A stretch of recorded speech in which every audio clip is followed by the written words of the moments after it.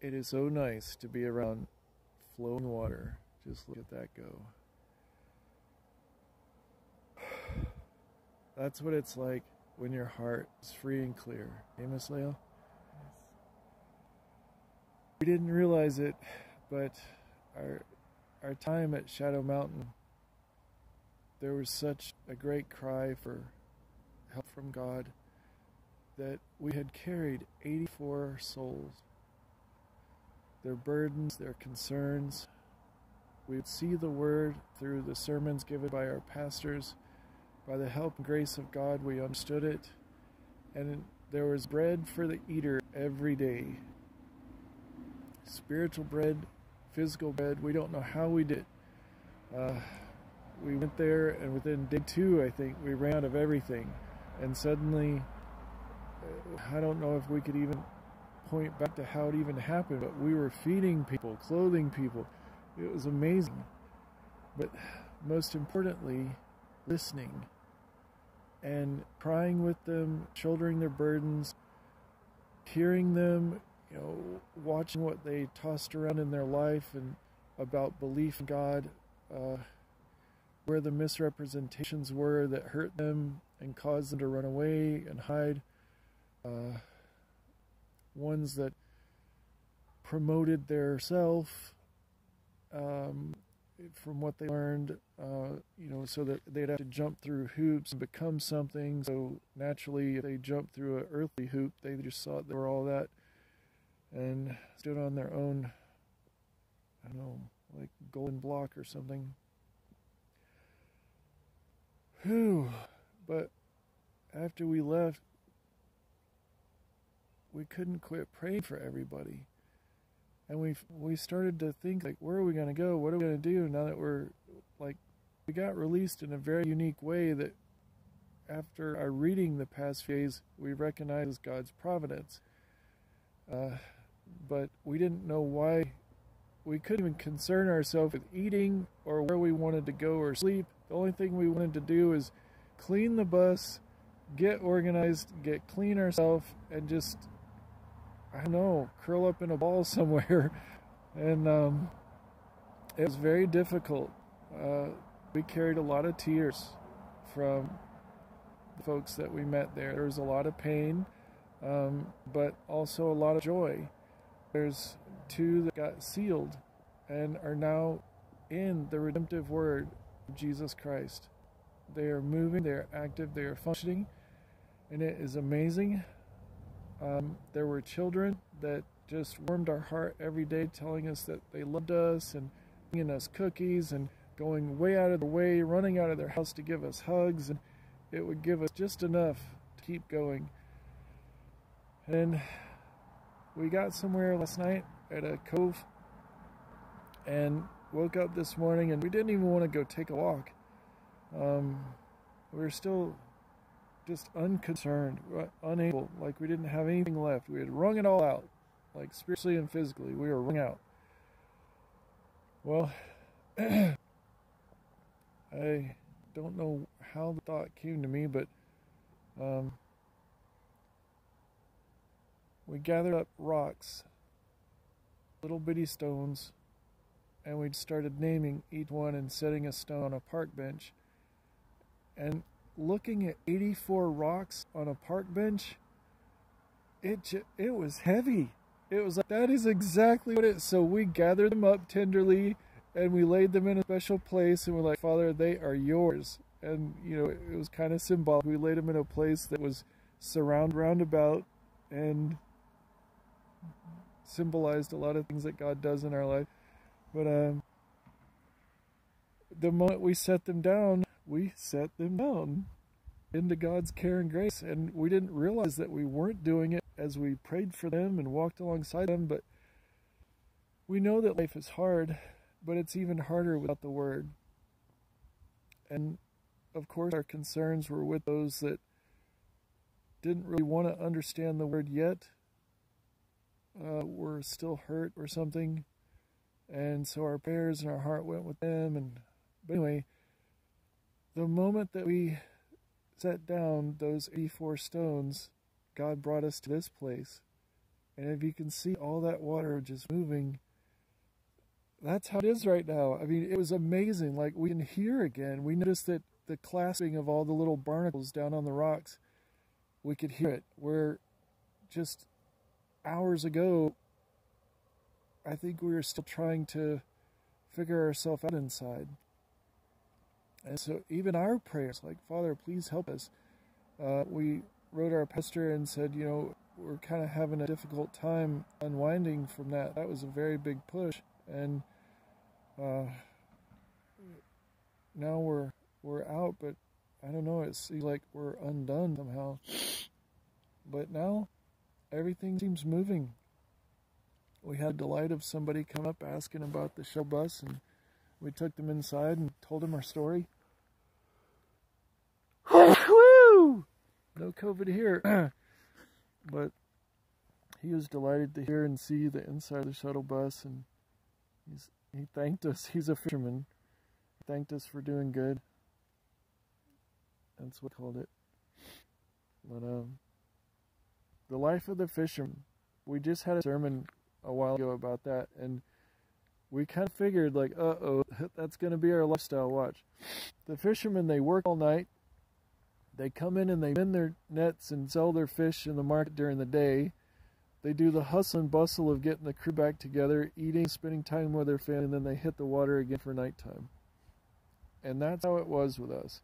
We had phone service at night, so we'd have to uh, compile our notes. Our night started around, oh, I don't know, 8 p.m., and we went till about 7 a.m., uh, or that was our day, I guess.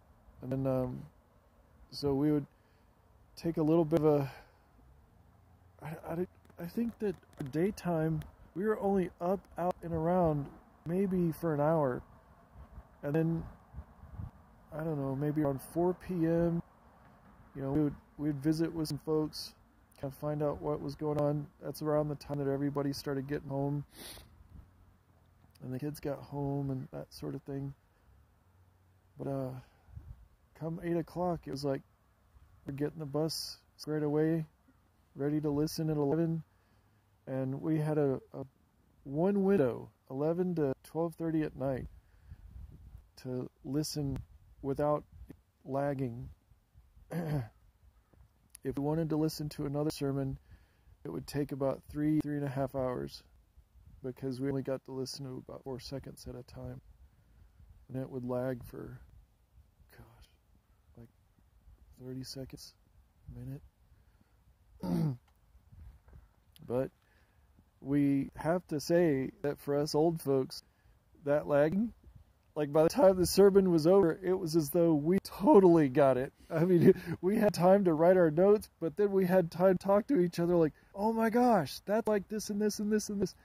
And so we were able to put it together and wait on the next four seconds worth of input. It was amazing. We got, we were singing and praying and praising and um, we had this fellow next to us that um, we always wondered. He was so quiet. He never came out. We were always wondering. I wonder what's going on in his life, being that close to, like the active work of worship and everything at night. It had to be beautiful. The show bus was so lit up. We had all these huge, um, kind of shop light type things that just made the inside the the bus like a like a Walmart night, and um, you could see it. We were right in the middle of the whole place, and you could see it from everywhere. And so when it was snowing, oh man, it was beautiful. It was just beautiful, reflected everywhere. So anybody could see that we're up, and some a lot of people came to us at night. That was one of the things that we were just remarking over time and time again was that God's work starts at night, and boy, did it ever. They knew, like everybody in that place knew that we were up all night. And so we had this one little fella, he would come, he would come over, okay, that's it, you know, I can't do this anymore, you know, nope, I just can't do it. And by the time he left, there was tears. Oh, I love God. Oh, you know, thank, so thankful I came by.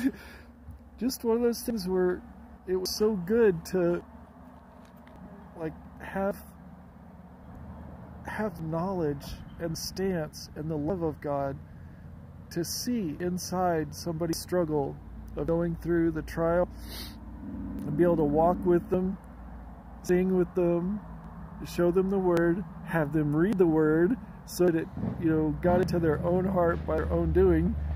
And just I think it was for so many people it was restructuring their personal belief attitude to come out of a um, what would you say? Like a, I thought it was supposed to be done for me to oh wait I can do this? Yes you can do this. Like yes you can open your Bible and read. And this is you know this is we were able to point out lots of meanings and uh, the value of hanging it on your ear and letting the word come later and broaden it, expand it, build it. And man, now that I think about it, that was like an open Bible class, that whole place. But it is good to be here with flowing water, and we look forward to having some movement. Uh, when we arrived there, it was a place that nothing went in and nothing came out.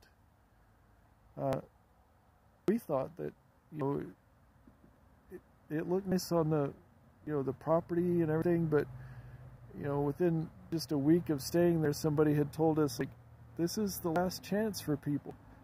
And what was amazing was that before we left, God told us in specific ways we were people's last chance. And that was really a difficult pill to swallow. So we made sure that we were not afraid to die uh, emotionally. We were not afraid to die physically. Uh, we were not afraid to die verbally. you know, it was just like we were unafraid to step into any circumstance and speak Father's love and word to correct their wrong thinking give them hope, give them a chance, give them understanding, anything, right? Give them love. Uh, we watch people be unable to stand in front of us because they had been so rejected before. They would start walking away speaking about how we were going to be mad at them or whatever. And we would have to like chase them down and hold them and say, that is not what's happening. Do you hear my voice? We are right here with you. I'll say all that again and let's let's pray about this. You know, so we watched Father start movement in a lot of lives. And we got the kids praying. And there was one day that we had to race into town try to you know, meet a deadline for some kind of uh, bill or something. I forget what it was, but um, the roads were bad and da da. And we came running up the hill, and all the kids were there, like, Mr. Jeff, Miss Jeff, what's going on? And I was like, guys, I need you to pray. Miss Lael and I have to make it to town by five o'clock, and we need to make it there safely, okay, and back safely. So they all like the two scouts that came to us they went running back to the rest of the kids. Hey, guys, guys, guys, we have to pray for Mr. Jeff. It was so cute to hear that ricocheting all through the buildings and whatever.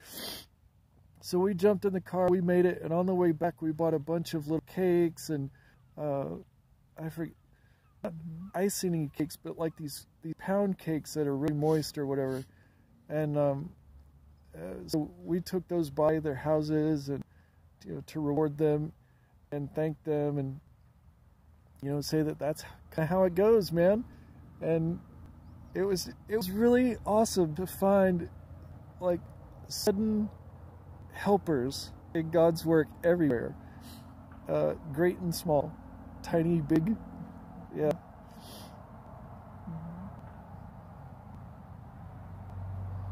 I was trying to give you some airtime Oh, well, usually when I get that elbow, it means keep talking. So I just thought that sorry, the phone must have slipped. Anyways, uh, we've had a beautiful time, and we thank you, Father God, with everyone that has supported us in prayer.